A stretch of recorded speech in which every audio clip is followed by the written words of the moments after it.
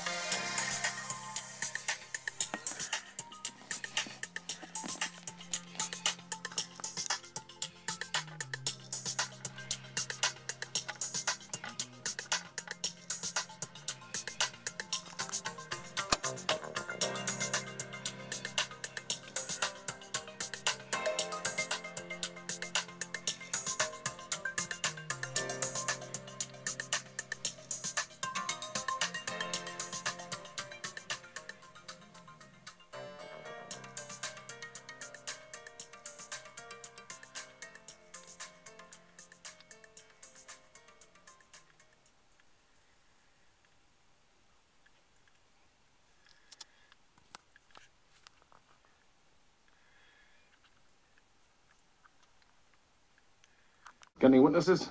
Witnesses? What are you talking about, witnesses? He shot himself. Well, he was shaving, huh? Now, look, Colonel Bat Guano, if that really is your name,